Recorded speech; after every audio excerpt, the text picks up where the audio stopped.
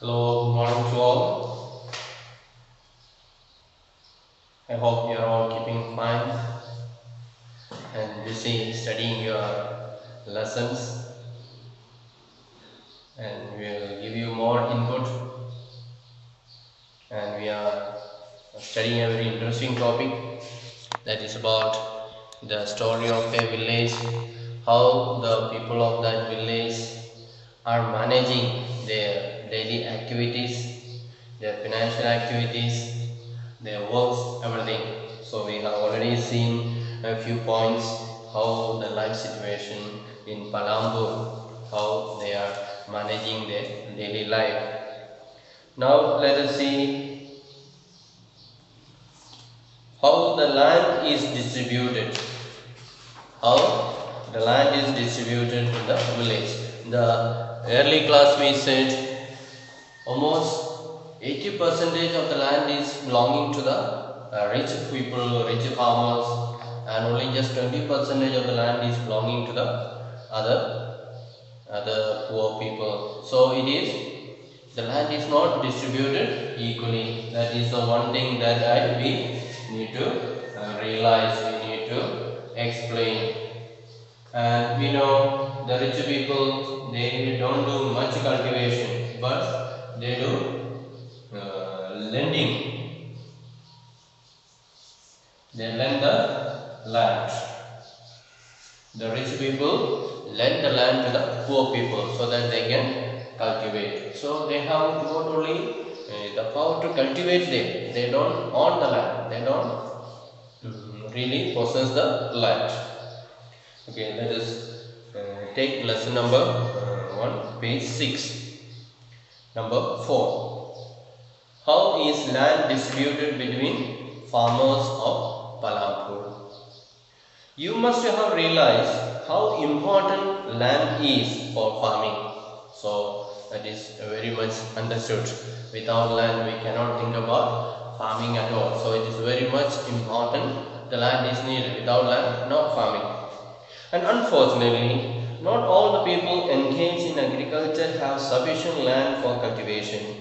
And in Palampur, about one third of the 450 family 50 families are landless. So we said there are 450 families are there. Among them, one third of them are landless. So you can imagine what a pathetic situation are there. So one third of them.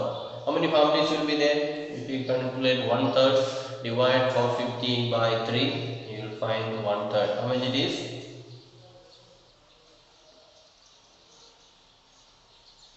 How much?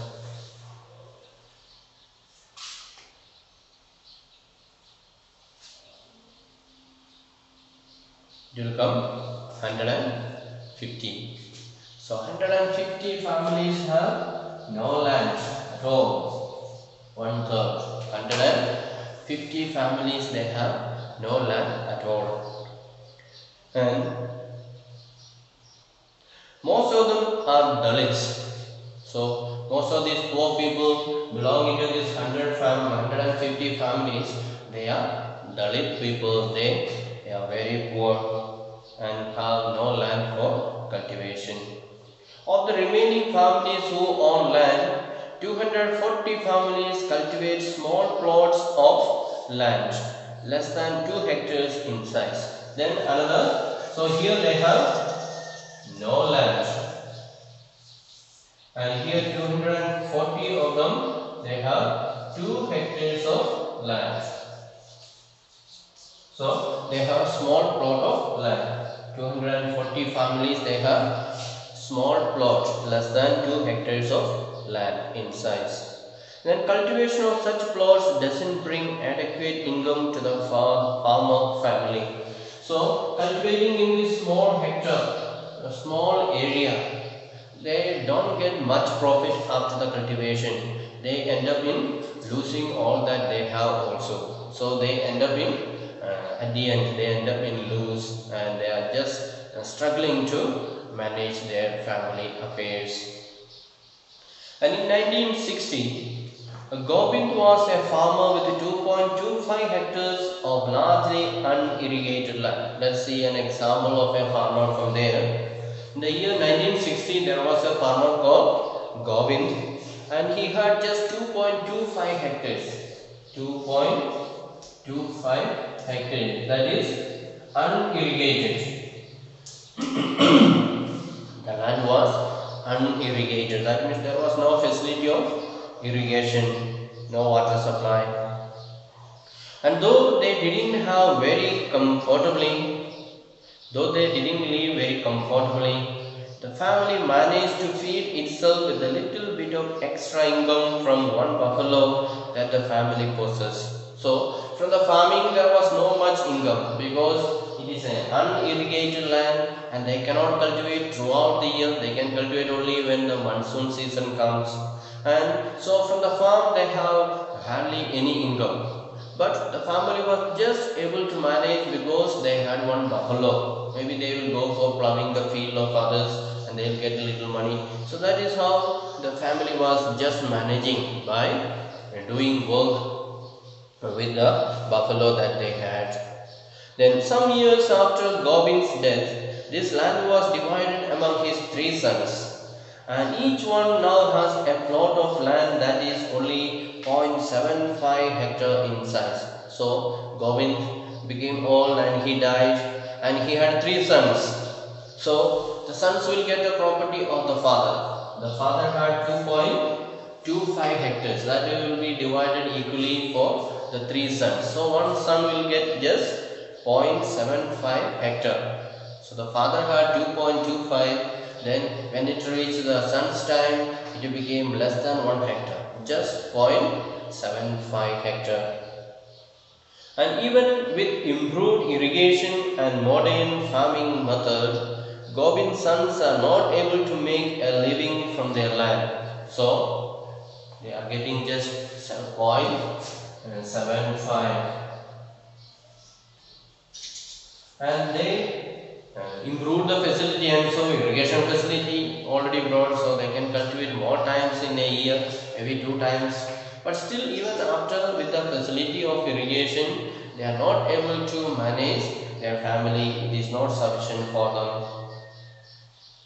And they have to look for additional work during part of the year. So since what is coming from this farm that income or that profit is not able to support their families. So what they need is they need to look for some extra work. If there is some other extra work especially when there is farming is not possible maybe during the dry season they will go and try to do some other work and get some extra income in order to support their families and you can see the large number of small plots scattered around the village in the picture. So you can see there is a picture small small areas. That is a small small plots owned by different people. So that is a situation in Palampur village how the land is um, divided. Some of them are very small some of them are little big and so on. So the land was not equally divided. It was very some people have got plenty and some people have no land and some people have got very less land and these are cultivated by small farmers. On the other hand, more than half of the area of the village is covered by plots that are quite large in size. So you can see some of the plots are very large. So half of the village area we can say that is having big plots, big areas. So in Palampur there are 60 families of medium and large farmers who cultivate more than 2 hectares of land.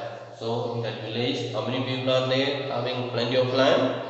They have 60 families of medium and large farmers and they have more than 2 hectares of land. A few of the large farmers have land extending over 10 hectares or more. So some farmers, they have so much of land. They have more than 10 hectares of land. Some people are struggling here with less than 1 hectare then some other farmers, big farmers, they have got more than 10 hectares. You can imagine the difference between the rich people and the farmer and the poor people. The rich people they have got plenty of land and they will be able to cultivate nicely and get plenty of profit. But the poor people they have very little land. However hard they are working, the profit that they get will be very little.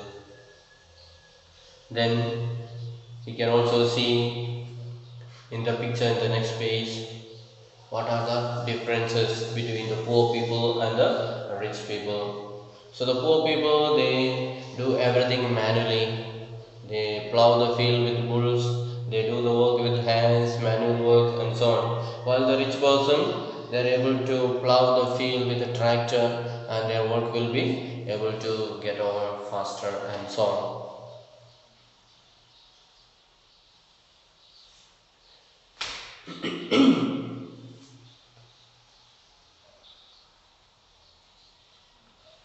And you also can see in the diagram given there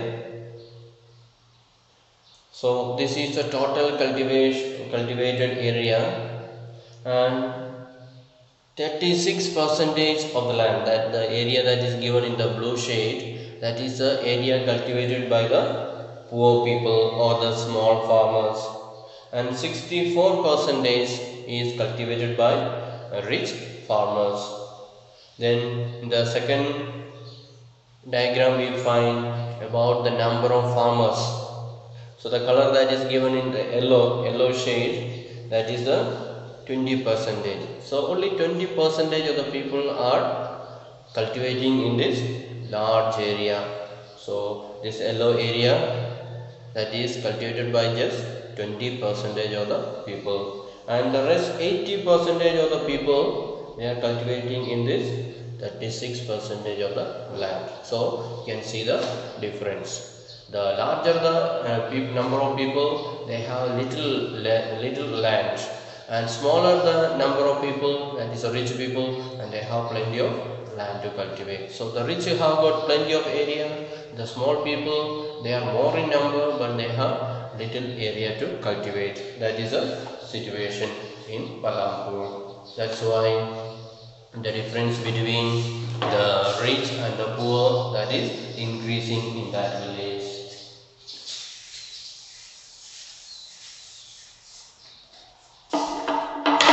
let us see about labor how the labor is taking place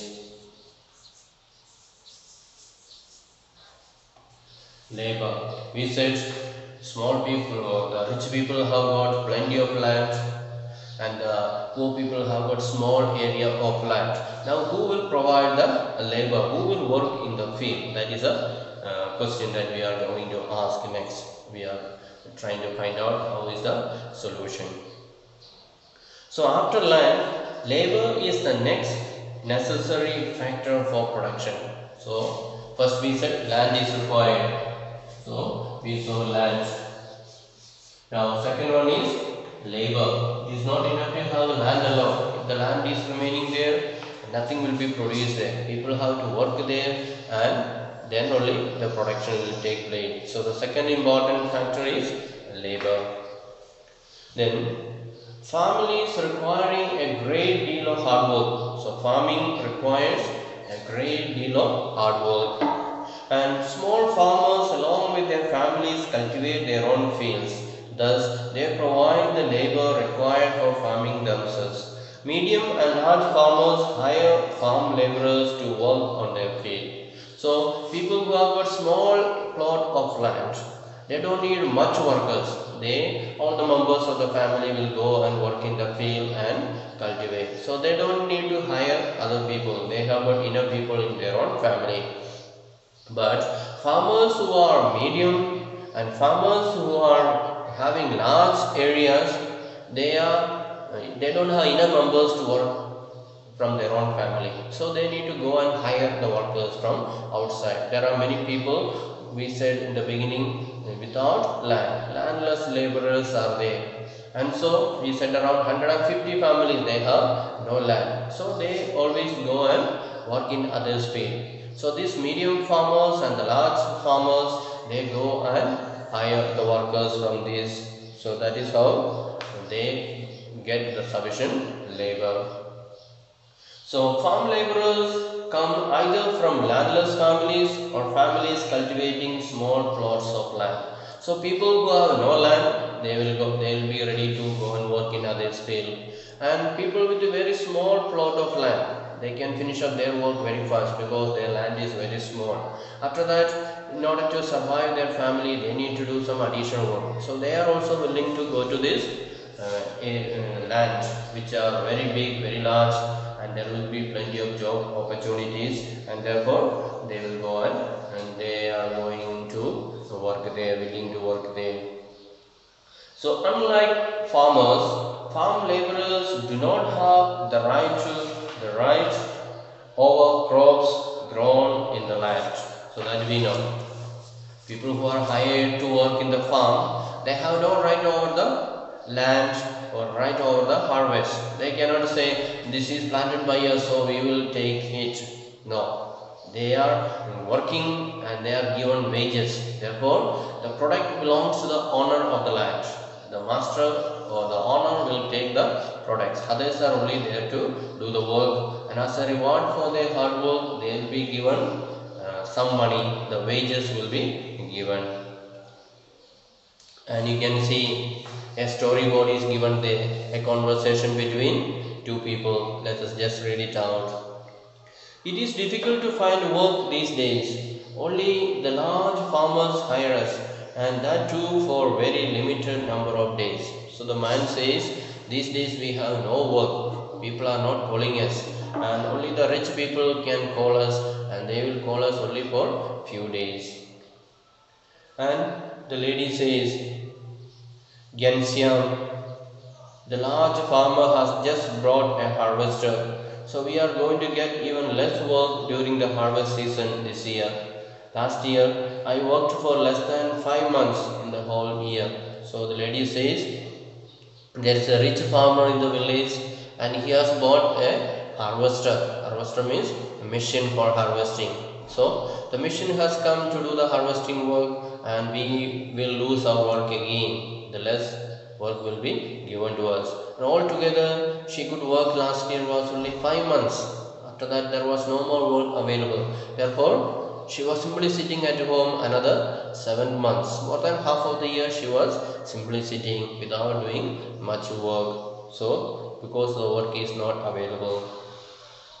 And we have tractors for plowing, harvesters for harvesting, threshers for threshing, even for removing weeds, some farmers spray weedicide. So the man says people are um, using more and more modern technique. They are using um, different machines for plowing, tractors they use, harvesters for harvesting, then threshers for threshing, then for removing weeds they are spraying the pesticide. So people have no work. Everything is done by the machines the the tractors and other modern methods and techniques. So people are not getting work. Nobody is calling them to do the work. The work that before people were doing, now it is done by the machine. Therefore, the people have no work. That's why they are really feeling the sad that they don't feel, have the work. Then she says, this year I will have to look for work in brick making unit in Raiganj. So she says, I'm sitting at home, I have no work and nobody is calling me. In the field also very few days only work is available. Therefore, I will go to the bricks making unit. So nearby there is a bricks factory there. People are making bricks, you know bricks, the um, stone like type that is made by the made with mud in order to build the house bricks. So she says I will go and work there so that I will get more work and I will get more money. And the man says, I owe the local money lender 2000. I had taken 1000 last summer when no work was available in the field. How will I ever repay? I hardly earn enough for two square meals. The man says his life is very pitiable, very, very pathetic condition. He had borrowed from the money lender 1000 rupees last year. Now it has become 2000 because the interest is very high. Within one year it became double and he says, How am I going to repay that? I am just struggling to find two meals in a day. So I am really poor, I have no work, and I am struggling. And as the uh, time is delayed more and more, the amount also is being increased. Last year it was 1000, this year it became 2000, and next year it may become 3000 and more. And so the more delay is brought, the more amount is increased. So the man also is really worried. And the lady says, My situation is not much better. Due to past debt, the moneylenders refused to give me any loan. So the lady says, I also had taken loan from the money lender previously and I have not paid back. Therefore, they are not willing to give me more loan again. Now I have no money in my hand. I have, I have no way to survive. I am struggling. So that is the real situation of the farmers in this Palampur village. They are struggling. The farmers without land. They don't have work also. They don't have land to work also. And they are going and borrowing money. Interest rate is very high. And so the poor people are really suffering. That is the situation in this Palampur village. Now, instead they are paid wages by the farmer for whom they work. Wages can be in cash or in kind. Example, crop. So, people, those who have no land, they go and work in others' field. Whenever they call them, they can go and work there and they will get cash or kind. So, the owner of the land the big business, big farmers, those who are hiring these laborers, they'll say, we'll pay in cash or we'll pay in kind. So cash means they will get money at the end of the work and kind means after the harvest they may be given a share of paddy or share of rice and so on. So whatever they want, the big farmer is willing to pay either cash or kind or things. And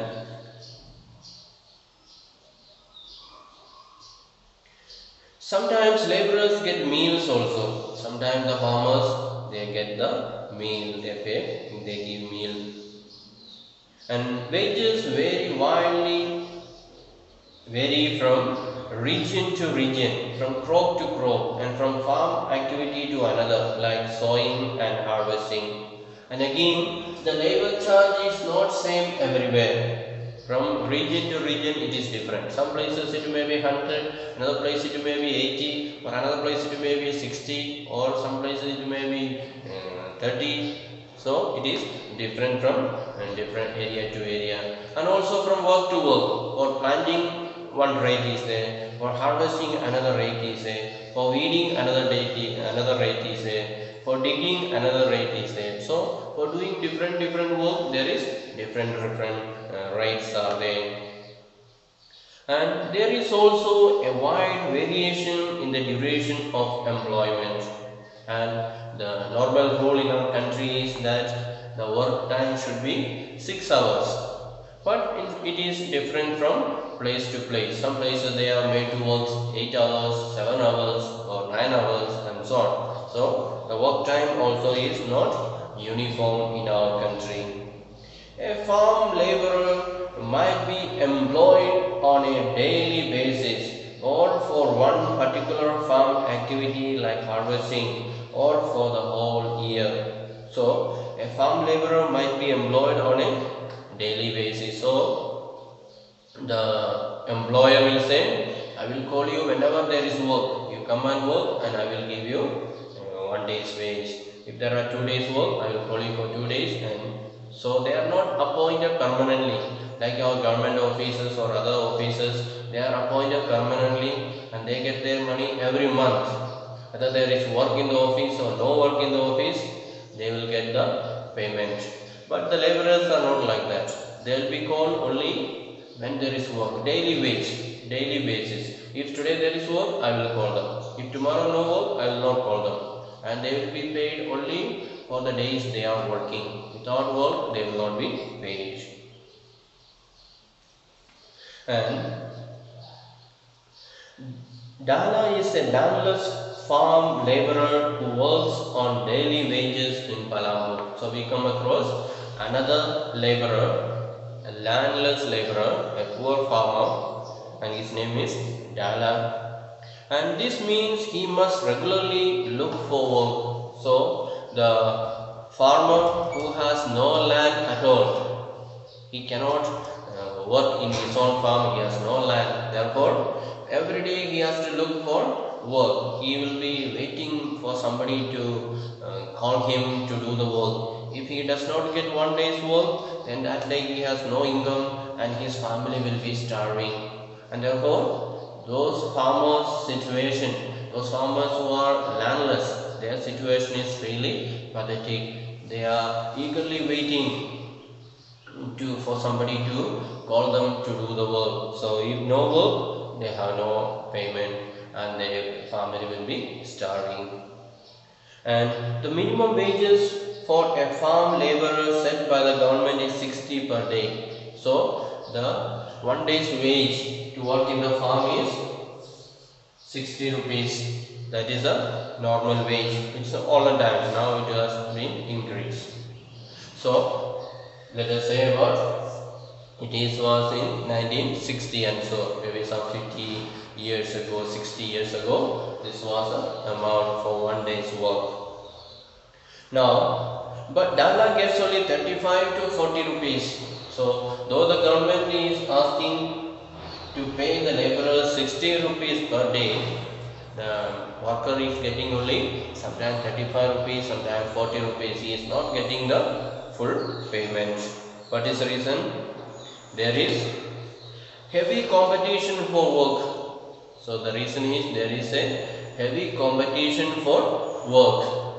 So there are many people are there. We saw 150 uh, families are landless laborers. They are all ready to do the work in order to manage their family in order to get their daily um, wages so they are ready to work so the rich farmers will see so many people are there waiting for work. They have no land of their own, so they are waiting for somebody else to call them to go and work in their land. Therefore, they are very eager to get that work, and all cannot get work because there is not enough uh, place for them, or enough people are not calling all of them.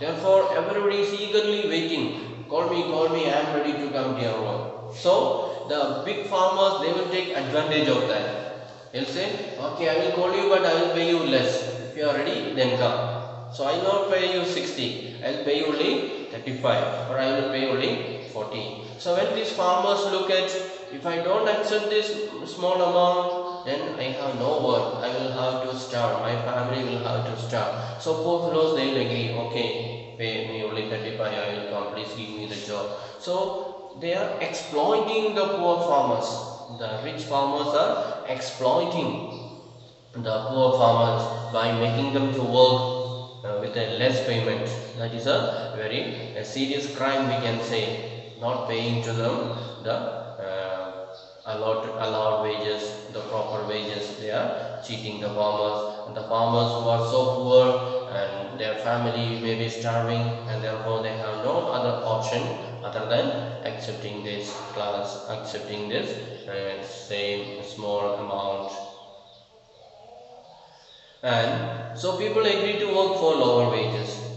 And Dala complains about his situation to Ramkali, who is another farm laborer. Both Dala and Ramkali are among the poorest people in the village. That is what we saw in the previous page. The discussion between two farmers. Those both of them are poor. So that is the situation taking place. Though they are supposed to get 60, but they get only 35 or 40.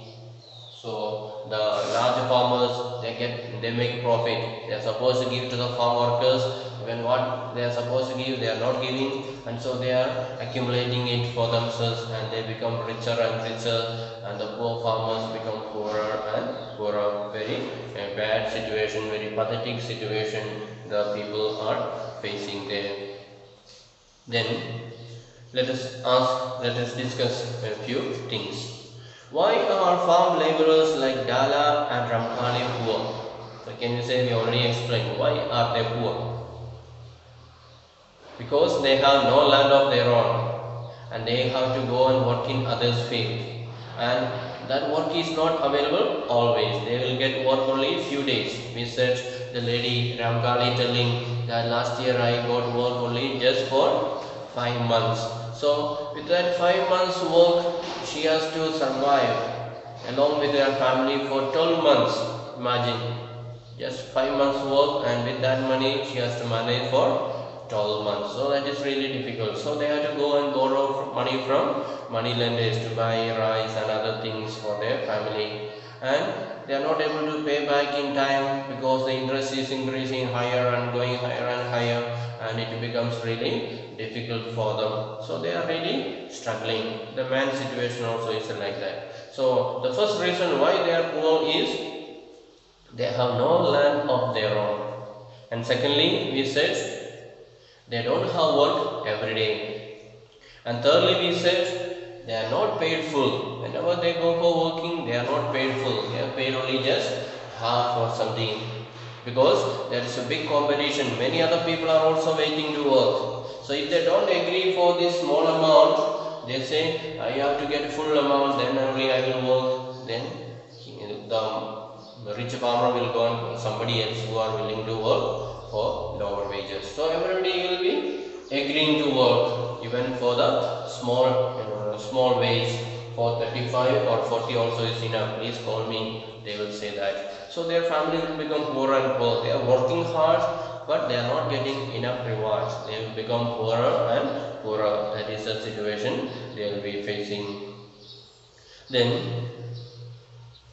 second question let us discuss is Gosaipur and Majauli are two villages in North Bihar. Out of a total of 850 households in two villages, there are more than 250 men who are employed in rural Punjab and Haryana or in Delhi, Mumbai, Surat, Hyderabad or Nagpur. Such migration is common in most villages across India. Why do people migrate? Can you describe, based on your imagination, the work that the migrants of Saipur and Majauli might do at the place of destination. So we see another example in two villages in Bihar.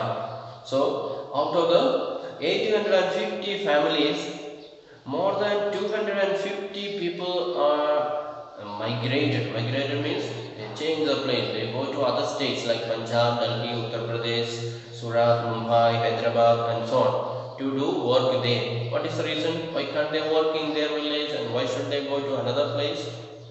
Because works are not enough. Sufficient works are not there in their own village. So if they remain in their village, they may get work only for few days. Afterwards there is no work and their family will be starving. And so they go out to other states where there are more work is available. Maybe farm work, maybe garden work, whatever work is available they are ready to do and they search for that work and they go inside they go and work there. So they go there not because they don't like to work in their place but it is because there is not enough work in their place. They don't have enough opportunities in their in their village. Therefore they go to other villages in other states where there are more works available. They go there in order to get the work and do the work and get the wages and support their families. That is what they are doing. So let us wind up this topic today and let us take the next day other important thing of the factors of production. We said land, labor and capital. So in the next class we shall study about capital. So thank you for listening. Goodbye.